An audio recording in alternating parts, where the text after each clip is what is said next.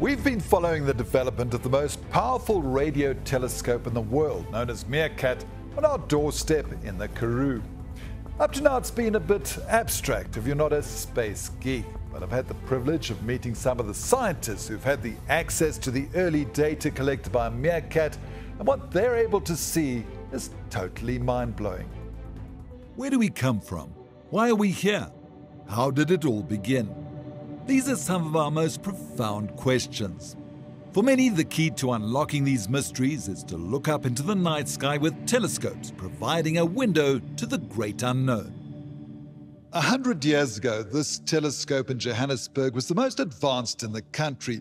But now that honor belongs to the Meerkat Radio Telescope, which just dwarfs it in terms of size and scale. Situated in the Karoo, Meerkat is currently the world's most powerful radio telescope and is the precursor to one of the largest scientific endeavors in history, the Square Kilometre Array. The South African Radio Astronomy Observatory administers Meerkat. Dr. Adrian Tiplady is Deputy MD. It's going to be the world's largest radio telescope. How does it differ from an optical telescope like the Hubble? Well, the Hubble or the Southern African Large Telescope in Sutherland uh, is really capturing light waves which are being emitted by objects around us. So you can really imagine a radio telescope as collecting all of the radio energy that is being emitted by hot gas, stars, galaxies. And so what you're doing with a radio telescope is you're capturing all that radio energy with a giant dish and connecting it, connecting all of the signals together in one big giant supercomputer and creating radio images of the sky.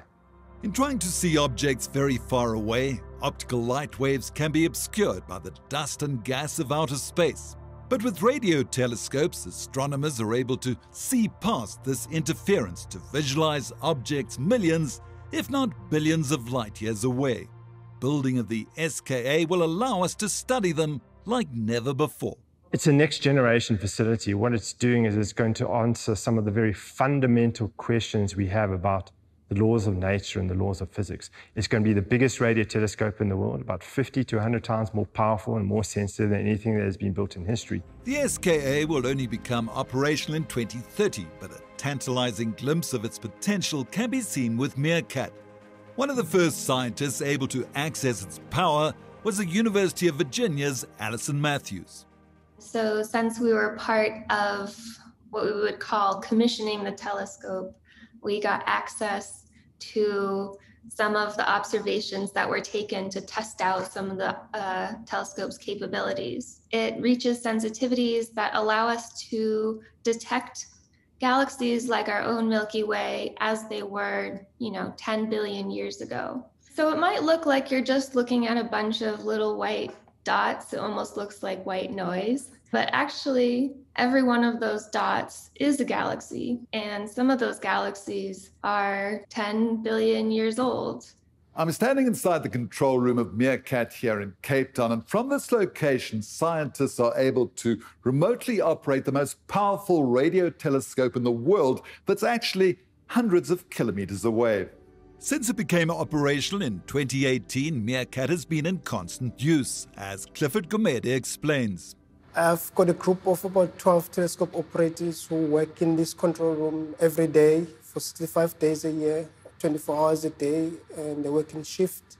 And so the telescope is always operational. So those massive dishes are controlled, what, from these keyboards? The telescope operator sits on this room and uses these keyboards to actually control the telescope. So he can be able to see from these screens what the telescopes are doing.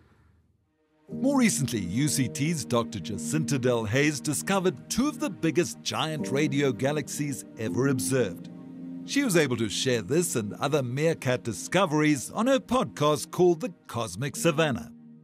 Today, we'll be talking about an exciting Nature paper publication that's come out from the Meerkat telescope, where they found huge bubbles around the center of the Milky Way.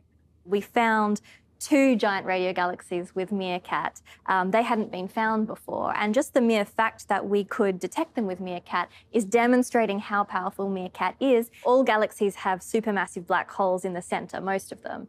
But in some cases, you've got some stuff, some gas and dust falling into this black hole.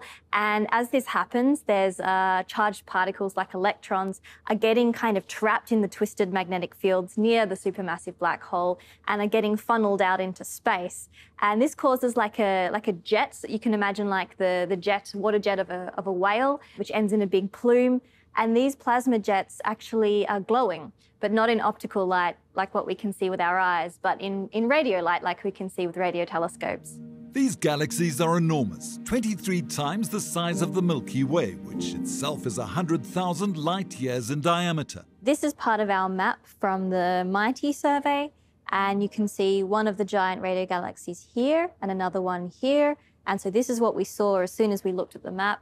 You could see these big streaks through the sky, which we knew were not there before. Uh, up to recently, you were using um, a radio telescope in where? In Mexico. In New Mexico, in the USA, I was using a telescope called the Very Large Array, the VLA. How do those images compare with MeerKAT? So that's a really great question. Here you can see that we are not detecting the, the giant radio galaxy at all. All we can see is the core here. And this purple outline is showing you where the MeerKAT data is. So you can see that there is nothing in the VLA image in the background, and we're detecting something um, with MeerKAT.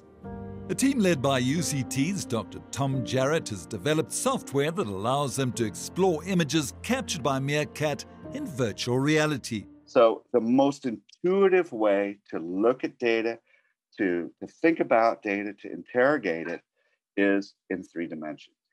VR is not about looking at something like this, it's about being inside of it. You're inside the data, just like you're inside your environment now. They say a picture tells a thousand words. Tom's colleague Angus Comrie allowed me to explore faraway galaxies for myself.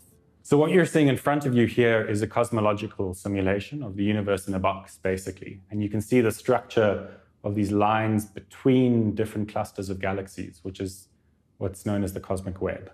So it's, it's almost like you're holding the data, you know, in your hand, and you can just reach out and, and, and touch it. So each of those little dots that you're seeing is a radio galaxy, and we're mapping them into three dimensions based on, on their frequency measurements.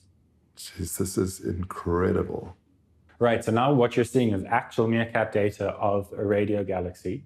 Yeah. But each of those blocks represents a data point that's been measured with MeerKAT, and in this case, what you're looking at here is the inside of a galaxy. So you've now stuck your head inside. And if these are the things that MeerKAT is discovering, one can only imagine what the SKA will reveal. I absolutely can't wait for the SKA. It's going to revolutionize our understanding of the universe, of galaxy evolution, of radio galaxies. It's going to be a really big deal. We'll be able to receive signals that will be traveling through the universe for millions, if not billions, of years. And perhaps in 10, 20 years' time, I'll be able to put together an, a movie of the evolution of the universe and see how stars and galaxies uh, were created and be able to fit that against models to really understand and probe the laws of nature and the laws of physics. Thank you for watching our stories here online and please subscribe below to become part of our YouTube community and be notified when we upload our latest content.